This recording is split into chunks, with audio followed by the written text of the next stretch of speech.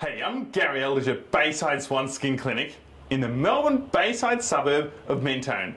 And we've been here for 14 years helping people. Perhaps I think people who might just be a lot like you.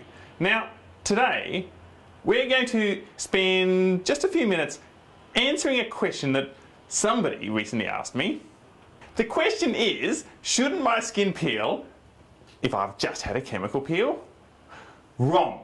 This is one of the biggest myths about chemical peels because many people do not visibly peel after a chemical peel unless you've had a really strong phenol peel which we rarely use nowadays um, and these should only be used, can only be used by a dermatologist or a cosmetic surgeon because phenol peels are one of the most extreme peels that you can get. Also, our skin sheds about 30 million cells every hour, so we don't even see our skin peeling every second. These skin cells are coming off whether we've had a skin peel or not. So, why would you even bother getting a skin peel? Well, firstly, as you may have guessed now, the reason we get a chemical peel is not to peel the skin. This is happening already. The reason we get chemical peels is to treat flaws and blemishes and problems beneath the surface. Because people who understand how chemical peels work know how they work. They understand the benefits occur at a deeper level. Medical grade chemical peels are a precise way for a, doctor to cause a controlled wound to the skin forcing your skin to replace old, flawed skin with new, youthful skin. So when you choose a cosmetic surgeon or a dermatologist, you'll, you'll both discuss the problem that you want to treat.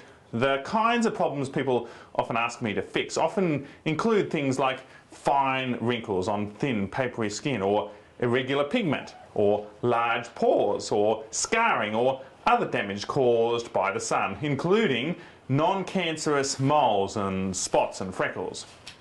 Now, the whole idea is to cause inflammation. We want to cause a reaction down, right down to the depth that is appropriate for your particular skin problem.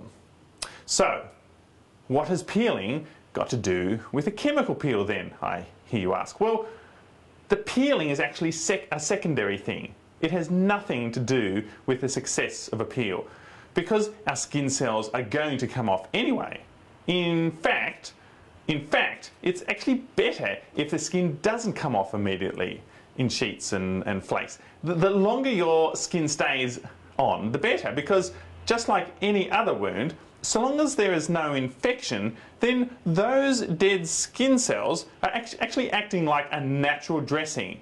The dry, burned skin actually helps to protect our new, healthy young skin underneath. But they're vulnerable from drying out and from the sun. So when it eventually does all disappear, you will have youthful, smooth, more even skin that can sometimes last for months and months, especially if you're smart enough to use the right skincare products recommended by your doctor for your skin type and designed for people who have just had a chemical peel. I'm Gary Eldridge at Bayside Swan and I'll talk to you later. And to find out more, you should really call your doctor. Or you could download my guide to chemical peels from my website, chemicalpeel.net.au.